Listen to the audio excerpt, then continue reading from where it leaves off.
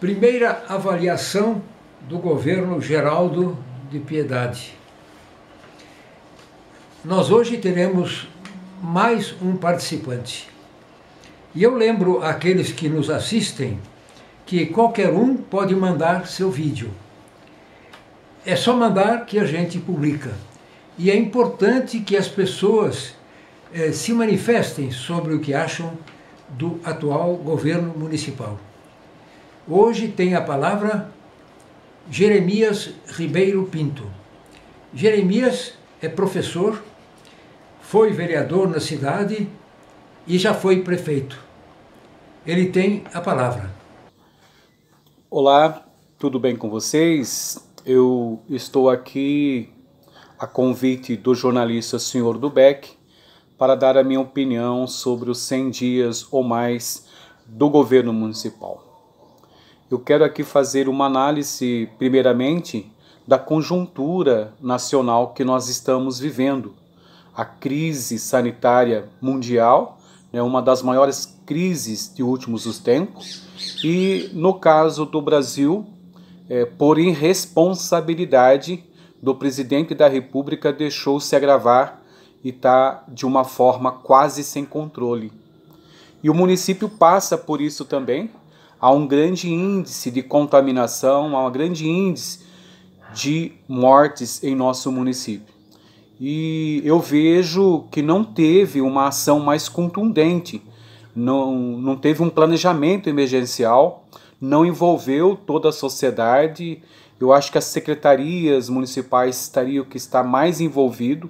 Eu acho que no debate que nós fizemos antes da eleição, a gente já previa que o número um da administração municipal, não só aqui no nosso município, mas de todos os municípios, é a questão da crise sanitária, a questão da saúde, é defender o SUS, é fazer é, campanhas, é fazer uma, um grande, é, uma grande articulação com todos os municípios para pressionar o presidente da República, é defender a vacina para todos. O Brasil teria condições disso se não tivesse um governo que só pensa em armar o povo, que só pensa em espalhar, espalhar o ódio, aí fica difícil.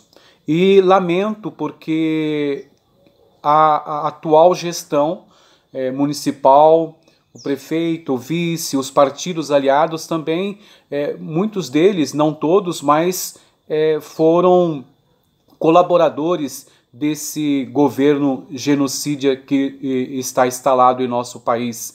Governo genocídio e fascista. Daí a crise, além da maior crise sanitária que eu, que eu falei, a crise econômica, a crise política, não há programas de desenvolvimento, se esquece do meio ambiente, né, a degradação ambiental muito grande.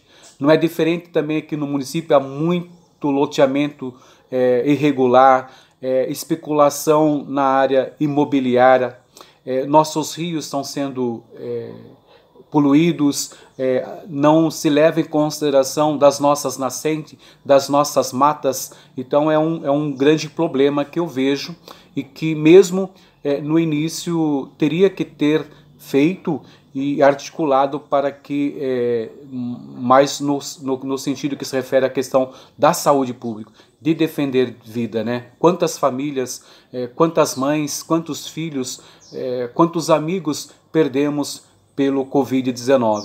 Eu acho que ainda é um grande desafio, mas é, eu me coloco à disposição, o meu partido, o Partido dos Trabalhadores, o mandato do Maurinho, para poder, em conjunto, procurar soluções e sanar, para barrar de fato a, as contaminações em nosso município. Vejo que tem que fazer um rastreamento, né, o isolamento social, é, com a, a abertura do comércio, com a, as, as leis afrouxando, é, a normalidade está vindo e os protocolos mínimos, mínimos, básicos, não estão sendo cumpridos. Então eu faço um alerta a, a esse governo municipal para agir de uma maneira mais contundente. É isso, um abraço a todos. Até a próxima.